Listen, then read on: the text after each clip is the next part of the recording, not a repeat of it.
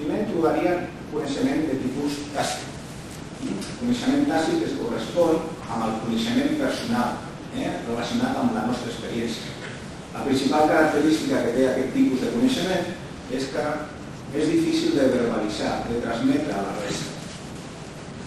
Exemples de coneixement tàcit és, per exemple, tenir l'habilitat de poder parlar en públic, tenir l'habilitat de poder dirigir un equip de persones, parlar una llengua, eh? saber anar amb bicicleta, saber nedar, saber fer anar amb cotxe. Aquests serien exemples de coneixement de tipus tàcit. Bé, per contra, tindríem davant del coneixement tàcit el coneixement de tipus explícit. Eh? És un coneixement que la principal característica és que és capaç de ser verbalitzat d'una manera molt còmoda i de transmetre a la resta mitjançant qualsevol sistema de representació. Aquí us poso un exemple eh, de coneixement de tipus explícit. Eh? Com fer el nus d'una prova. Sembla que és el, Winston, no, sembla que és el nus, exemple, és el que porta. I aquí aquest coneixement es pot verbalitzar i inclús es pot representar de forma documental. Aquí el, tenim una diapositiva, podríem eh, passar-li a qualsevol persona i aquesta persona amb una miqueta d'habilitat podria construir aquest nus. Bé, davant del coneixement tàcit explícit, tindríem també el coneixement de tipus individual, que és tot el coneixement que tenim les persones al nostre cap. En definitiva, és la suma de tot el coneixement tàcit i el coneixement explícit que tenim les persones al cap. Davant del eh, coneixement de tipus individual, podem identificar també el coneixement corporatiu. El coneixement corporatiu és el coneixement que pertany a les organitzacions. Normalment acostuma a ser un coneixement que es troba representat en forma documental i, aquesta, i aquests documents eh, pertanyen oficialment o de manera legal a l'organització. El típic exemple és una patent que representa a un laboratori farmacèutic. Bé, i l'última parella de tipus de coneixements que podem trobar en el context de l'organització són, per un costat, el coneixement intern, que és el coneixement crític que permet a una organització cobrir els seus objectius. Per exemple, en el cas de la Generalitat, el coneixement intern de la Generalitat seria tot el coneixement que tenen els seus treballadors, funcionaris, laborals, eh? eh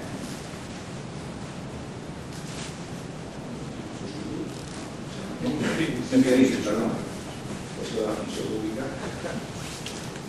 però també el coneixement que es troba a les seves bases de dades, els seus protocols d'actuació, inclús el coneixement que surt, que surt a I per últim tindrien el coneixement extern, que és el coneixement que fan servir les organitzacions per poder relacionar-se amb la resta d'organitzacions. Per exemple, el coneixement que apareix a la web de la Generalitat, podem un exemple d'aquest tipus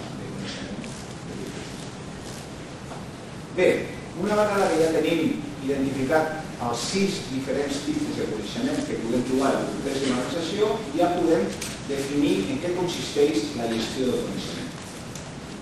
La gestió del coneixement consisteix en ensenyar un sistema que de forma sistemàtica pugui identificar tot el coneixement tàcit, el coneixement explícit, el coneixement individual, el coneixement intern i el coneixement extern que es pot trobar en l'organització identificar-lo i transformar-lo de manera que es pugui convertir en coneixement de tipus corporatiu.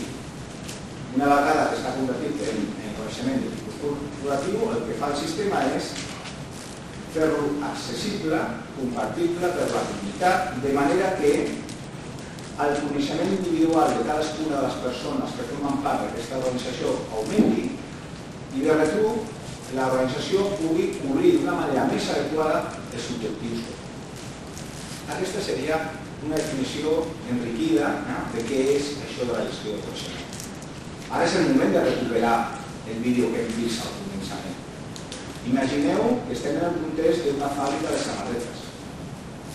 El vídeo és una molt bona estratègia de gestió del coneixement. Concretament el que intenta és capturar un coneixement que és a la vegada tàcit i explícit, que és com doblegar correctament i de forma molt ràpida una samarreta el transforma en coneixement corporatiu, el que fa és capturar-lo en forma de vídeo el compartir, eh, el que fa és fer-lo accessible a tots els treballadors, de manera que cada treballador, treballador és capaç de doblegar les samarretes d'aquesta forma i d'una manera molt còmoda i ràpida.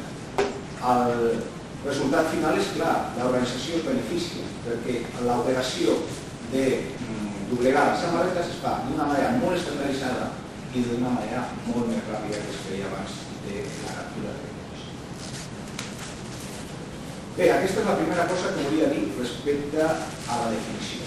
La segona és que el coneixement, quan es, quan es troba en un circuit com aquest, hm, agafa valor, que no tenia abans eh, quan no es troba en un circuit com aquest. Per exemple, si volguéssim calcular el eh, valor del coneixement d'una organització en la qual no existeix cap eh, programa de gestió del coneixement, cap intercanvi de coneixement entre els seus membres, si eh, imaginem que cada cercle vermell és una persona i que cada persona té una quantitat de coneixement constant al cap, que és K, el valor total del coneixement d'aquesta organització seria K per el nombre de persones que formen part d'aquesta organització. En canvi, en una organització en la qual existeix un sistema de gestió de coneixement, eh, que existeix intercanvi sistemàtic de coneixement entre els seus membres, el valor del coneixement ja no és K per el nombre de persones, sinó K elevat al nombre de persones que formen part d'aquesta organització. Un clar exemple d'aquesta organització en la qual eh, es produeix un intercanvi el podem trobar en una experiència que s'està desenvolupant molt senzilla que s'està desenvolupant a l'Hospital de, Sant, de Pau. Eh? Les secretàries s'han organitzat, per exemple, i han creat un blog eh, en línia en la qual elles són capaces, capaces de compartir i de crear nou coneixement amb resultats realment molt, molt positius. Aquests són els dos tipus de valor. Ara la pregunta molt provocativa és en quin costat et trobes? Si de cas, eh, contestem aquesta pregunta en la part de discussió al de la Bé, ara m'agradaria una miqueta abordar el tema de l'aprenentatge dins d'aquest tipus de processos. Com ja hem dit, el coneixement corporatiu és el coneixement crític eh, que fa que una organització pugui, eh, pugui funcionar de forma adequada. Doncs bé, aquest eh, coneixement corporatiu mai és eh, constant, sinó que es veu afectat per dos factors de com són els episodis de fuita i també els episodis d'obsolescència, que el fan disminuir constantment. La fuita, per exemple, quan una persona abandona l'organització, se'n va a una empresa, o es jubila o cau malauradament malalta, el coneixement que, té, que té al cap acostuma a anar-se amb ella. Eh? Quantes vegades una persona ha agafat la baixa i ens hem adonat que era molt important quan aquesta persona no hi és, perquè tenia un coneixement molt, molt útil per la resta de companys. Però també quan el coneixement caduca. Eh? Hi ha coneixements que deixen de ser útils. No sé si teniu una edat major eh, fa 15 anys, què significava saber informàtic? Si no sabies programar en Basic, no sabies informàtic. Ara qui programa en Basic?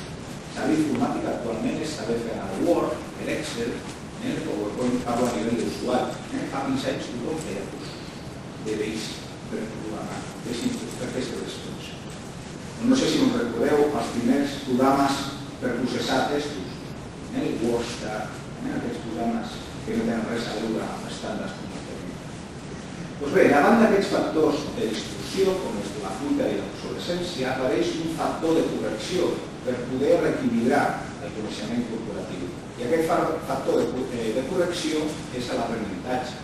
El, fa, el que fa és equilibrar aquestes puntes constants que està fent. Bé, és important entendre que en aquest context l'aprenentatge s'ha d'entendre d'una forma molt, molt àmplia. És a dir, l'aprenentatge s'ha d'entendre per, un, per un costat com l'aprenentatge clàssic? Una persona que és especialista en un tema, que fa una, uh, una xarra eh, presencial en la qual fa difusió del seu coneixement, però també hem d'incloure dins d'aquest concepte d'aprenentatge altres formes d'aprenentatge. Per exemple, l'aprenentatge virtual, l'aprenentatge entre iguals, és a dir, aprendre dels teus companys, l'aprenentatge col·laboratiu, és a dir, aprendre al treballar en grup, mm? l'aprenentatge per l'experiència, a partir de la praxi, aprendre també, o l'aprenentatge situat, és a dir, l'aprenentatge a mida el context d'una organització.